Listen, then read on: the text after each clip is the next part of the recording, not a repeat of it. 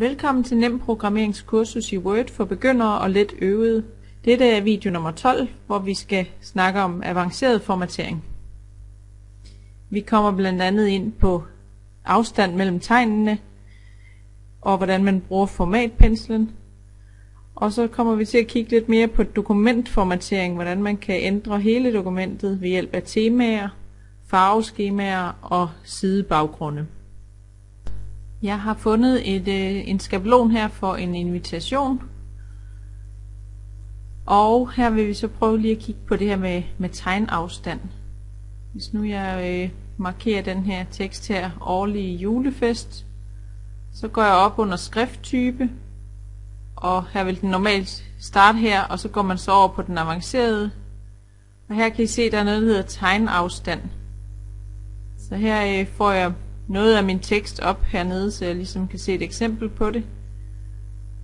Når jeg skalerer, kan I se, hvis nu jeg går helt op til 200%, så bliver det bare sådan strukket ud, så selve bogstaverne også bliver større. Eller jeg kan sætte den ned til 50 her, og så bliver den presset sammen. I modsætning til den, der hedder afstand,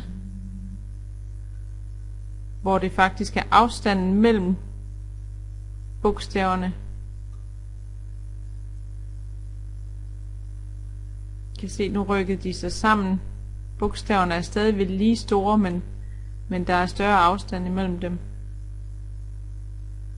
Og her kan man så ændre med, hvor meget afstanden skal være, hvis vi skal helt op i i 3-4 punkt her for eksempel, så bliver der øh, sådan godt med luft imellem bogstaverne.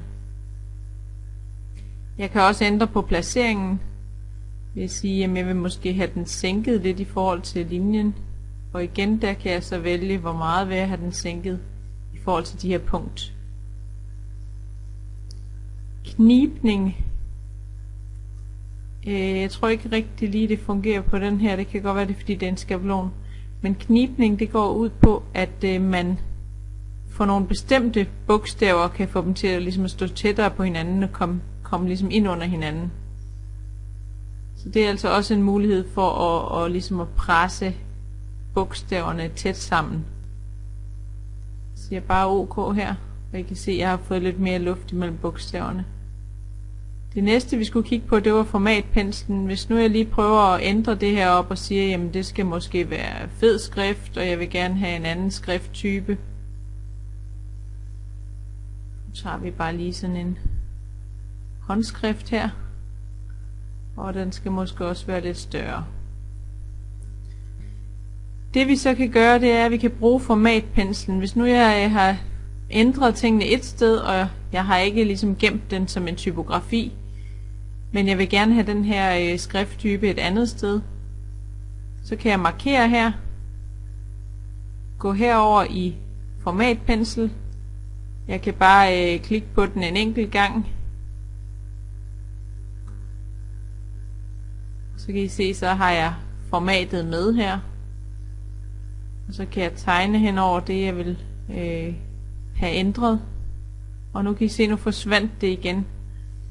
Så hvis jeg, øh, nu står jeg så på den, øh, det format igen her, hvis jeg klikker, dobbeltklikker, så kan jeg markere, og så kan jeg ligesom bruge den her pensel flere gange, uden at den forsvinder igen. Jeg kan også dobbeltklikke på det, jeg vil have ændret. Sådan her. Det er en rigtig smart øh, måde, man hurtigt lige kan, kan ændre tingene, øh, hvis man har siddet og puslet og fundet ud af, jamen det skal se lige præcis sådan her ud, så kan man så gå ind og bruge den her formatpensel. Og så skal man lige huske at klikke den af igen herop, hvis man ikke vil bruge den længere. Med hensyn til dokumentformatering, så skal vi over på den fane, der hedder Design.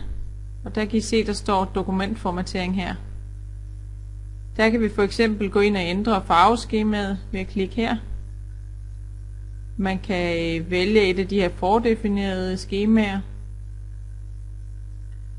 Og nu har vi selvfølgelig et billede at tage hensyn til her, så der øh, kunne det jo være øh, at man skulle vælge noget, der passede lidt til her, en gul-orange øh, farveskema for eksempel.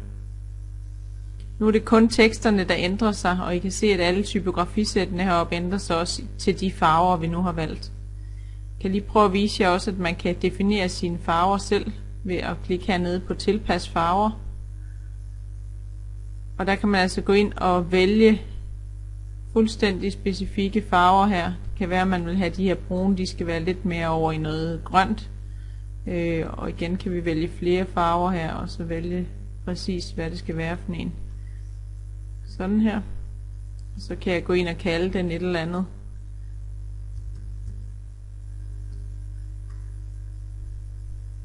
Og så får jeg så mit nye farveskema op her. Der er også den her over, der hedder temaer. Og der kan man altså gå ind og, og vælge et helt tema for, hvordan øh, det her det skal se ud. Et tema, der har man både farver og de her typografisæt. Så hvis jeg nu vælger den her, så kan I se, så ændrede min skrifttyper så også lidt. Ikke dem jeg selv har øh, ændret manuelt godt nok. Men min, øh, mit farveskema ændrede sig. Der kom ligesom et valg af skrifttyper her. Jeg kan prøve lige at vælge en anden en, så I kan se forskellen. Man kan også gå ud og søge efter endnu flere temaer og gemme de her aktuelle temaer. Prøv lige at åbne et nyt dokument.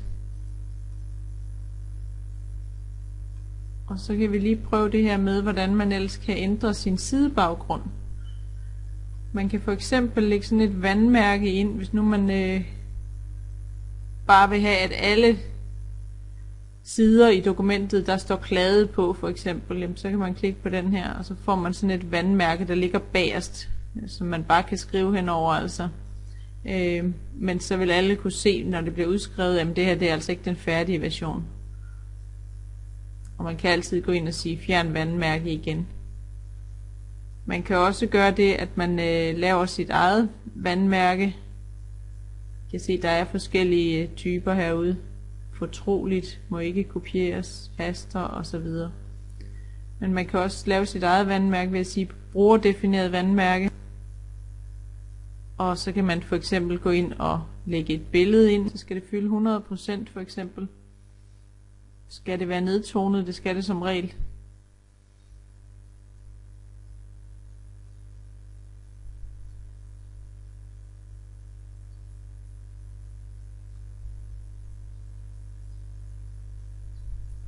Og vi vælger bare lige et tilfældigt billede her. Og det bliver automatisk sat ind som 100%, så det fylder hele siden.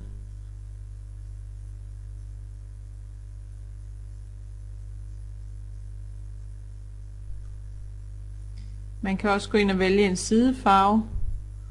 Nu kan I se, nu kommer den op med temaets farver her øverst. Så er der nogle standardfarver og så kan man så gå ned og vælge flere farver. Men hvis nu jeg bare vil holde mig til temaet her, jamen, så kunne jeg jo for eksempel tage øh, sådan en lys grøn her. Så er der sidekanter, man kan sætte på. Når vi kommer ind, så er der både kanter, sidekant og skygge. Og øh, de her skygge og kanter, de øh, passer til, øh, til afsnit. Så der skal vi altså bruge den her, der hedder sidekant øh, på hele siden. Der kan man så vælge, at det skal være en boks, eller det skal være skygge, eller 3D, eller en eller anden øh, brugerdefineret måde at have det her på. Hvis nu jeg bare prøver en boks og siger, jamen det skal være sådan en, en fast... Øh, nej, vi tager lidt større en her. Den her tager vi. Øh, og der kan vi så sige, hvilken farve skal det være? Jamen det skal måske være den samme øh, grønne her, bare en meget mørkere.